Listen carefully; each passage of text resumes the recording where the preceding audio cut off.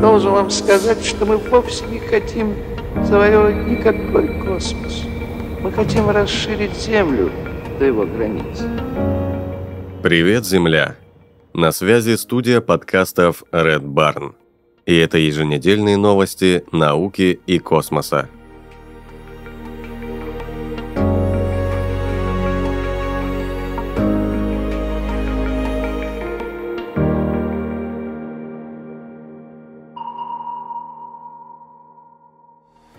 Ученые предложили запустить на Луне левитирующий робопоезд.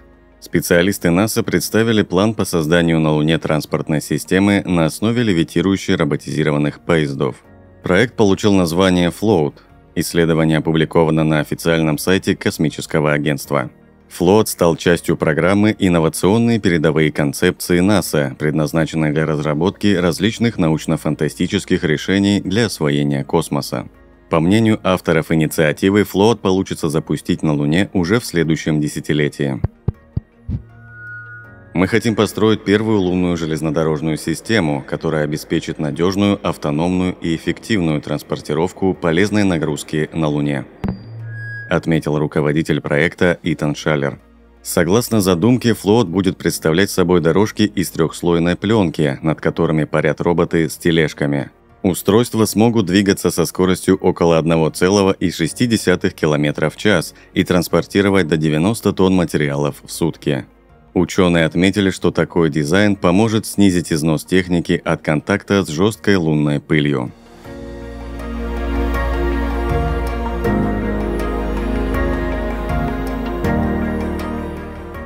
Китай начал строить Skynet – сеть интернет-спутников с глобальным покрытием. С космодрома Сичан на юго-западе Китая ракета-носитель Чанчжэн-3Б подняла в космос экспериментальный китайский спутник Smart Skynet 01 для создания космической интернет-сети Skynet. В последующем в космос будет выведено 16 или 32 подобных спутников для создания глобальной сети. Высота базирования спутников Skynet составит 20 тысяч километров или в 40 раз выше аппаратов Starlink. Первый спутник будущей сети послужит экспериментальной платформой для проверки работы технологий связи от радиочастотной до космической лазерной, чтобы транслировать данные в космосе по лучу от спутника к спутнику. Более высокая орбита группировки Skynet увеличит задержки сигнала по сравнению с сетью Starlink компании SpaceX, но пропускная способность сильно не должна пострадать. Параллельно сети Skynet Китай будет разворачивать в космосе две другие группировки спутников связи Guoweng и G60 Starlink, обе по 12 тысяч спутников в каждой. Это будут сети на низкой околоземной орбите, полностью подобные Starlink. В последующем сети Skynet на средней орбите будут объединены с сетями на низкой орбите. Интересно отметить, что наземная система слежения за гражданами Китая с распознаванием лиц также носит название Skynet – но связи наземной системы видеонаблюдения и сети космического интернета на сегодняшний день неизвестно. Сеть Skynet разместится несколько ниже сетей GPS и Beidou, спутники которых находятся на орбитах высотой 20 200 км и, соответственно, 21 500 км. Разрабатывает аппараты и сеть Skynet китайская аэрокосмическая научно-техническая корпорация – Согласно расчетам разработчиков, будущая сеть космического базирования обеспечит доступ в интернет всем типам пользователей во всех сценариях и во всех доменах.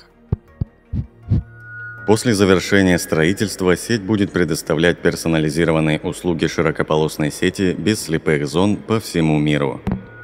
Заявил представитель корпорации после сообщения об удачном запуске спутника. Возможно, это будет одна из первых космических интернет-сетей, разрешенных для работы на территории России, хотя в Российской Федерации также разворачивается собственная сеть интернет-спутников.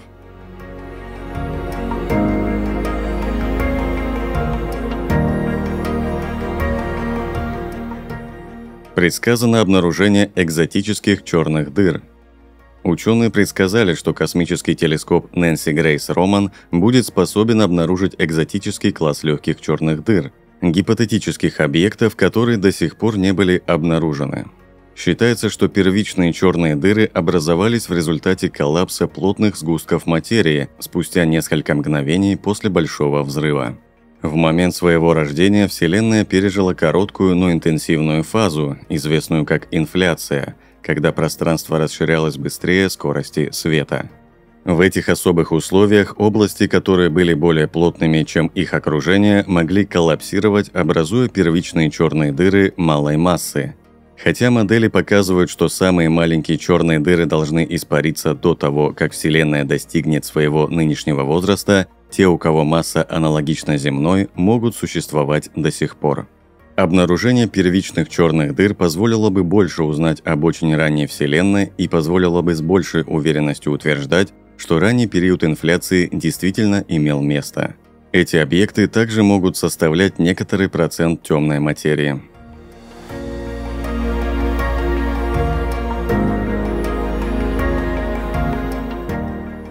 Китае появился телескоп для изучения космической погоды.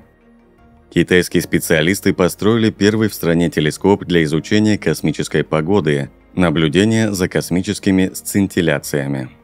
Ученые уже провели технические испытания устройства – Благодаря этому аппарату исследователи смогут эффективно осуществлять повседневное наблюдение за межпланетной космической погодой и предоставлять высококачественные данные как для китайского, так и для международного научного сообщества. Космическая погода – это совокупность явлений и процессов в космическом пространстве, которые связаны с активностью объектов в космосе, в том числе Солнца. Наблюдение помогает избежать многих рисков, к примеру, основные аспекты влияния Солнца на космическую погоду – выбросы корональной плазмы, высокоскоростные плазменные потоки, солнечные космические лучи, ультрафиолетовая радиация, солнечный ветер.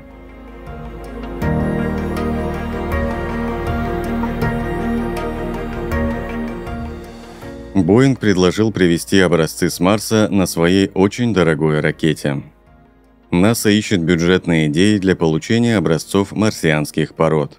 Однако Боинг предлагает одноразовую миссию с использованием дорогостоящей ракеты Space Launch System, сокращенно SLS. Этот подход, отстаиваемый бывшим ученым НАСА Джимом Грином, направлен на снижение сложности миссии. Однако SLS печально известна своей высокой ценой. Стоимость одного запуска может превысить 2 миллиарда долларов – Грин доказывает преимущество одного массивного посадочного аппарата, который будет нести все необходимое для извлечения и возвращения образцов. Это контрастирует с текущим планом НАСА, предусматривающим два запуска европейского космического аппарата.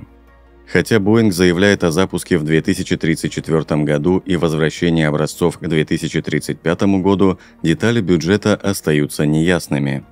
Это вызывает опасения, поскольку на горизонте маячат более дешевые сверхтяжелые ракеты, такие как Starship.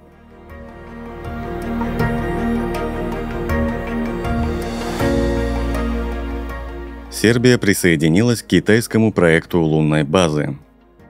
Соглашение об участии в Международной лунной исследовательской станции, разрабатываемой под руководством Китая, подписала Сербия – Соглашение было подписано в ходе государственного визита председателя Китая Си Цзиньпина в Сербию. Ранее Министерство науки и технологического развития и инноваций Сербии подписало меморандум о взаимопонимании с Национальным космическим управлением Китая. Стороны также подписали в дополнение к меморандуму по лунной базе меморандум о сотрудничестве в области инноваций в исследовании и мирном использовании космического пространства – Возглавляемая Китаем лунная программа предполагает построить постоянную лунную базу в 2030-х годах. Китай также намерен отправить людей на Луну до 2030 года.